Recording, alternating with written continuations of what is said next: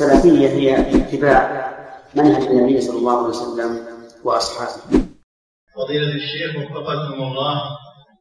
هذه فتاة تسأل فتقول تقول أمي ترفض أن أخرج مع زميلاتي خوفا علي. فهل علي إثم في عدم طاعتها في ذلك؟ هي نعم. هي تريد مصلحتك حمايتك. فأطيعي أمك.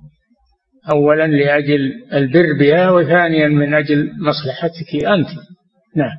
أنا سلفي على الكتاب والسنة وعلى منهج السلف الصالح.